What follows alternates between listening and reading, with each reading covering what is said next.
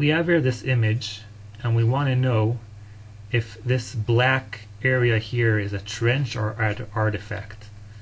So first thing in the tilt removal let's have no line bias. So we choose here none. So already we see that it doesn't seem so much as a trench. But let's investigate this a little bit more. Let's save it as a STP file. So we're going to save here the height channel in the trace. We're going to save it and then open WSXM to look at the STP file. So when we open the file, we have to make sure that here plane is not checked. So we uncheck that and we're going to open the file.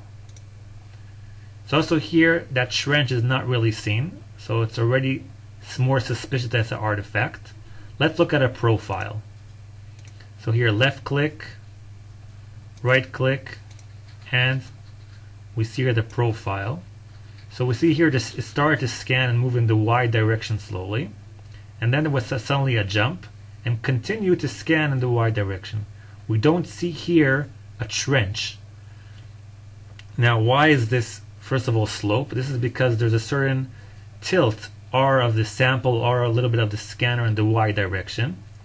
So for next time it's better first to scan in the y direction and do slope compensation and then scan back in the x direction. Now why is this jump why did this jump happen?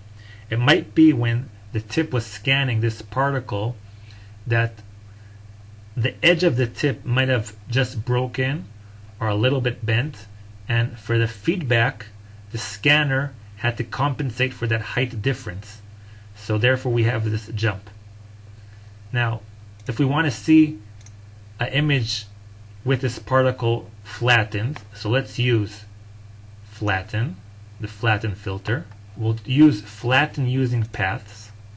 We're going to choose a new path. Left click left click and then right. Let's do another one. Left click left click right. I'm going to choose here line and then apply flatten using paths okay and voila we have a nice flattened image with a particle on it. We can also look at 3D there we go.